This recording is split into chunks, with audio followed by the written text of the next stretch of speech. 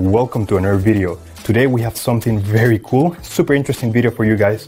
I'm gonna show you how to unlock the network of your phone to use it with any carrier. Uh, this is gonna be useful if you wanna switch providers and use your phone with any other um, SIM card, any other carrier in any country.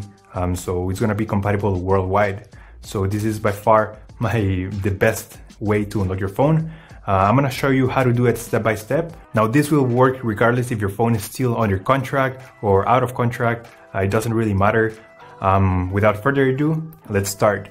So to start, we're gonna get the phone's IMEI number. That's a unique number for every phone.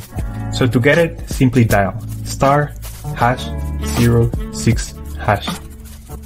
As you will see, your 15-digit IMEI number will appear in the screen of your phone. This number is very important. It represents the ID of your phone and keep it somewhere close because we're gonna use it in a few seconds to unlock this phone. Okay, now we're gonna switch to the computer. This website, we will request the remote unlocking of this phone.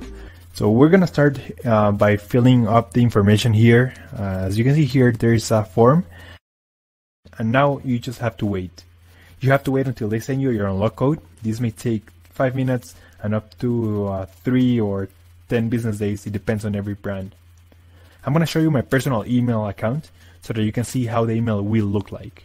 And as you can see here, I got this message and it confirms that the phone has been unlocked. If you have any questions, please leave them on the comment section down below and I'll try to answer all of your questions. Thank you so much and I'll see you on the next one.